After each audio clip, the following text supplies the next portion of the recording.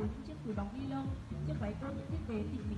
Những lớp váy được xếp thành tầm bầu vành với gam màu chủ đạo là màu đen quyến rũ sang trọng. Kim ngân muốn chia sẻ để các bạn thông điệp để bảo vệ môi trường phát triển và các chất liệu bền vững trong tương lai. Vâng, ra cùng chào đón phần dự thi. Mang số báo danh 23 được từ chi đoàn 12D2. Sản phẩm dự thi của chi đoàn 12D2 mang tên là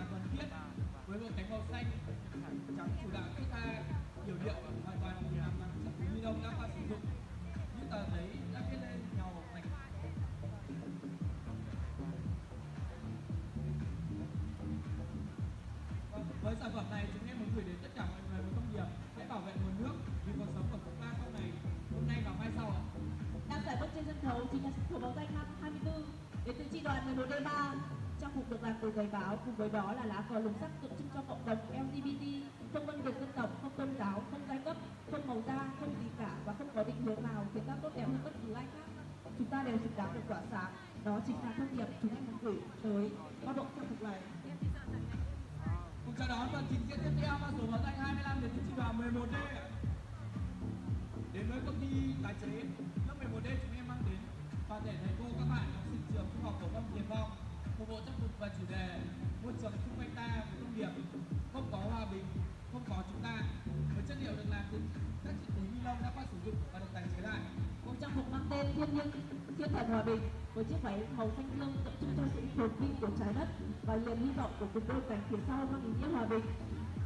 Tiếp theo là phần dự thi mang số báo danh 26 đến từ chi đoàn 11T1 môi trường hiện nay đang bị ô nhiễm trầm trọng nên để giảm lượng rác thải ra bên ngoài. Tập thể lớp 11 tên một chúng em đã tái chế một số đồ bỏ đi để sáng tạo ra bộ trang phục. Mẫu váy được cắt điệu từ những chiếc túi ni lông mà chúng ta sử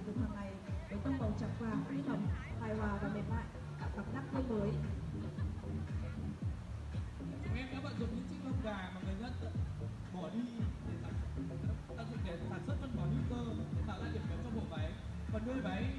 là điểm xuyến được bởi những con hạc con bướm làm thủ công từ vỏ bim bim đánh keo lên trên chiếc váy trên phần lớp đánh. Mời quý thầy cô và các bạn cùng hướng về sân khấu để chào đón sự xuất hiện của phần thi số báo danh 27 đến từ tri đoàn 12 Đê Lăng với chủ đề mong manh theo gió, bộ trang phục này được làm từ những chục chiếc túi ni lông. Đây chính là nguồn rác thải nhiều nhất mà con người sử dụng trong một ngày sinh hoạt bộ trang phục này được lấy cảm hứng từ màu đen của nước sông tô lịch mà người dân thải ra khiến nó trở nên không còn sạch sẽ trong sạch như trước chúng em muốn mang về với bộ thi bộ sưu tập này với mục tiêu con người hãy thực sự có ý thức nhìn nhận đúng đắn về vấn đề ô nhiễm môi trường Vâng, xin mời phần dự thi của tri đoàn 10 đến năm ạ.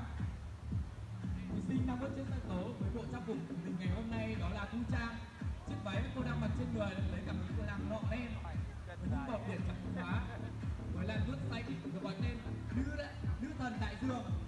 Chiếc váy được tái chế từ túi ni lông cũ với chân váy thiết kế phồng bềnh ba lớp tạo lên sự nhẹ nhàng thanh thoát. Cùng với đó là sự cùng với đó cũng được tính thêm vài bông hoa rất trông rất tươi mới.